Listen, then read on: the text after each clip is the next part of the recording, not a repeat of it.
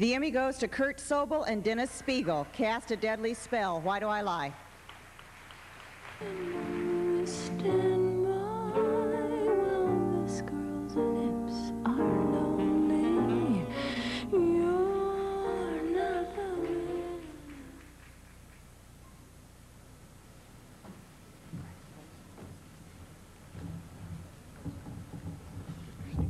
I just wanted to thank, thank you very much. We're thrilled. I'd like to especially thank Gale Anne Hurd and Martin Campbell and Ginny Nugent, Richard Waltzer, as well as Frank Bennett, Jack Smalley, Bill Ross, Darlene Koldenhoven for a tremendous rendition, and Dennis for his terrific lyrics. Thank you. Thank you.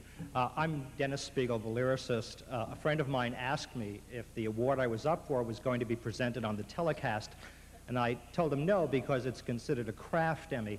He said, Dennis, that's, that's a terrible thing to say because it's a wonderful thing to win. I said, Jonathan, I didn't say a crap Emmy, I said a craft Emmy. it is a wonderful thing to win. I want to thank family, friends, the colleagues, my collaborator, and the Blue Ribbon panel. Thank you all very much.